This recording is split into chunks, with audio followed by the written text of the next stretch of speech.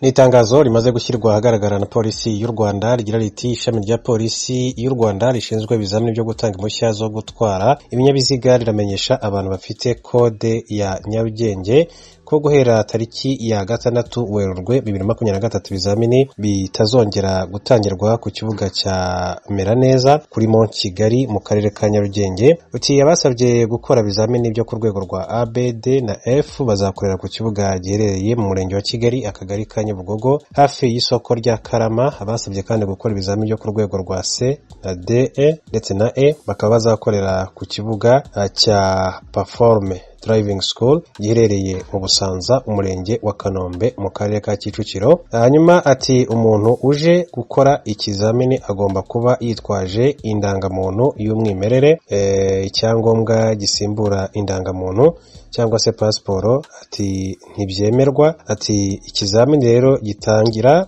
saa mbiri za mu gitondo. Ukeneye ibindi bisobanuro ushobora guhamagara izi nimero ni ijana na cumi n'umunani cyangwa se ugahamagara kuri zeru karindwi umunani umunani mirongo itatu na rimwe cumi na gatanu mirongo irindwi zeru karindwi icyenda mirongo inani na gatatu cumi na rimwe cumi n'icyenda karindwi. Scp dr. Steven rukumba komiseri w'ishami rya polisi rishinzwe ibizami ndetse no gutanga impushya zo gutwara ibinyabiziga akaba washyize umukono kuri iri tangazo akaba ari itangazo rimaze gushyirwa rero ahagaragara na polisi y'u rwanda by'umwihariko ishami rishinzwe gutanga ibizamini ndetse n'impushya zo gutwara ibinyabiziga nk'uko bagiye babigarukaho rero. Ku bantu bose rero bafite iyo kode ya nyarugenge mu by'ukuri ni itangazo ribareba. Aho bashobora rero kuba banaribona ku mbuga zitandukanye nkoranyambaga za polisi y'u rwanda hanyuma rero kugira ngo ntibazacikanwe n'ayo mahirwe by'umwihariko cyane cyane ku bantu bifuza izo perimi cyangwa se izo kategori zitandukanye yaba abcd kugeza kuri e. Hanyuma rero tuve kuri inkuru tube n'andi makuru atandukanye. Akomeje kugenda avugwa muri aka kanya. Intumwa z'abanyamurenge batuye kinshasa babonanye kuwa kane n'umukuru w'ikigo cy'igihugu gishinzwe amatora seni. Cedric muyoboke ni umwe mu banyamurenge batuye kinshasa wari mu ntumwa zagiye kubavuganira. Yavuganye na mugenzi wacu veniste nshimiyimana atangira amubwira ibibazo bagejeje ku babishinzwe. Ibibazo abanyamurenge cyangwa se abatutsi muri rusange bakunze guhura na byo iyo bagiye kwibaruza kugira ngo bafate ikarita y'itora harimo guhutazwa n'abaturage babita abashyitsi bavuga kuko nta burenganzira bafite bwo kwibaruza kugira ngo bafate iyo karita bazatore ariko nanone hakaba ikindi kibazo cy'uko bashobora guhakanirwa n'abakozi b'ikigo cyangwa se komisiyo y'igihugu ishinzwe amatora nabo batabashira amakenga bakavuga yuko batababarura ngo babahawe amakarita bityo nabo babita abashyitsi. Muri rusange ibibazo ni nk'ibyo bibiri ni uguhutazwa n'abaturage hakaba nanone no kwangirwa gutora kubera kuko ari bavuga yuko ari abashyitsi. Hakaba harabaye nanone no gufungwa kwa bamwe muri abo bantu bo muri ubwo bwoko bw'abanyamurenge cyangwa se abatutsi muri rusange. Ngibyo ibibazo bakunze guhura na byo iyo bagiye kwibaruza ngo bafate agakarite ko kuzatora ibyo ni byo twabashije kugerageza kugeza kuri seni ariyo komisiyo y'igihugu ishinzwe amatora. None mwari abantu bangahe? Mwari bantu ki? Mugize izo ntumwa zabonanye n'umukuru w'ikigo cy'igihugu gishinzwe gutegura amatora muri congo.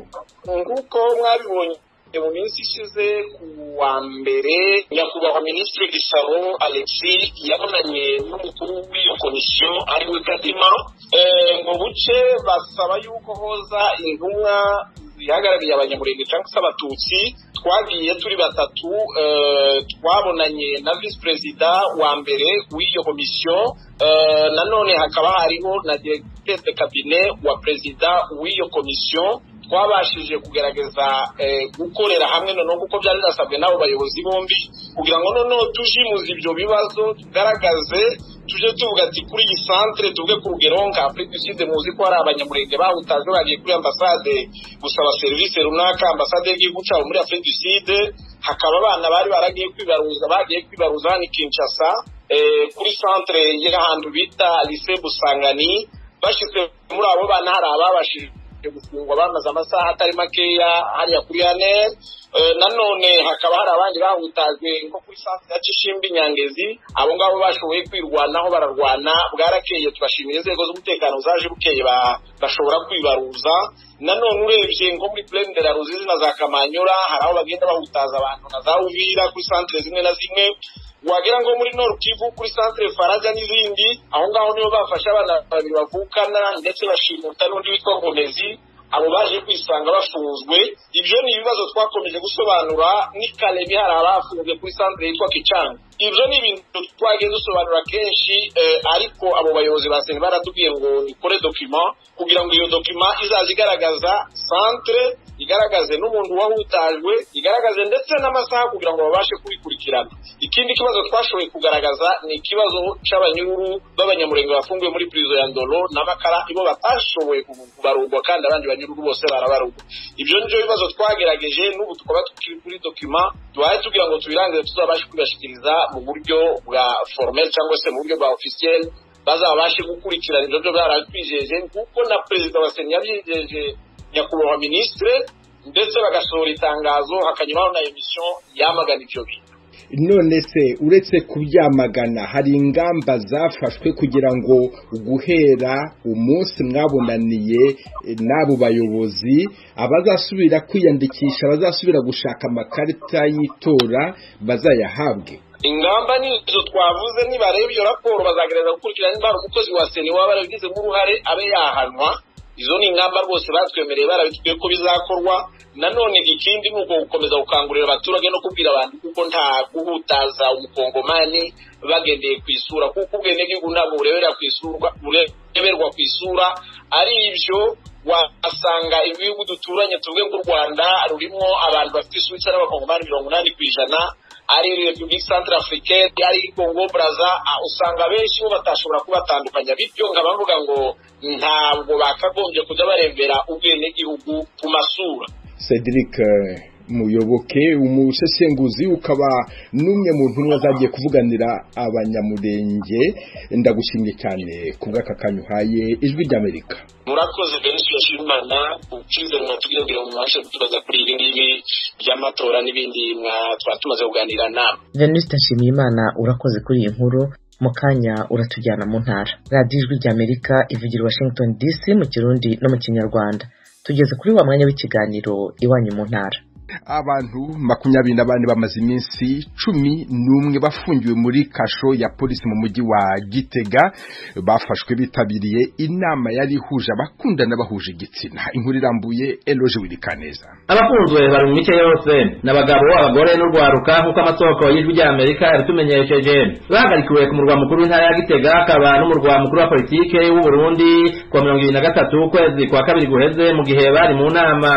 Igihe bari basohotse kugira bafate akavuna musase ko hagati y'ivyirwa haje abajejwe inzego z'umutekano abapolisi n'abakozi b'iperereza hamwe n'abajejwe intwari igitega barabubira. Bahita baburiza amapikapu baja kubafungira mu gipolisi. Niko amasoko yacu avuga. Inama bahagaritswe barimo yari yateguwe n'ishyirahamwe rikorera mu ntara ya gitega ryitwa muco. Umukenyezi yaritwara ari mu bantu bafunzwe. Amakuru twakuye mu gipolisi yo kwizerwa rikaba yatanze batashimye ko umwidondoro wabo umenyekana yatubwiye ko abafunzwe bikekwa kuba bari mu mirwi y'abatinganyi. Ikibanza bari kubakoreramwo inama twasanze kirimo amaserenge imiti ubufuko bwo kwikingira indwara zifatira mu bihimba by'irondoka hamwe n'ibitabo by'amategeko avuga ku burenganzira n'ikingirwa ry'abatinganyi. Niko amasoko yacu akomeza avuga. Ku cicaro gikuru c'igipolisi amasoko y'ijwi rya amerika na yo nyene yatashimye gushira habona umwidondoro yatubwiye ko iyo dosiye irikikurikiranwa n'ibiro bikuru vy'igendereza n'aho abafashwe bari mu minwe y'igipolisi. Umuvugizi w'ibiro vy'umushikirizamanza kizigenza wa repubulika umuvugizi w'igipolisi cy'u burundi na buramatari wa gitega twabarondeye kuri telefone ariko ntitwabatoye. Ishirahamwe muco ryari ryateguye iyo nama ryari ryaronkejwe uburyo na usaid igitata ca leta ya amerika kijejwe gufashanya n'ibindi bihugu. N'akaba twashoboye kuvugana hari abashingwamanza bariko bakurikirana ibijanye n'ifungwa ry'abo bantu bavuye mu rwego rw'abashingwamanza rwo ku murwa mukuru w'ubutunzi bujumbura. Ntibizwi niba ari usaid yababaronkeje. Kuri uyu wa gatatu perezida evariste ndayishimiye atarinze kuvuga kuri aba bantu bafunzwe yagarutse ku batinganyi amenyesha ko umurundi wese yaba uri mu gihugu hagati canke hanze yabwo aja mu bikorwa by'ubutinganyi akwiye gucibwa no kuvumwa.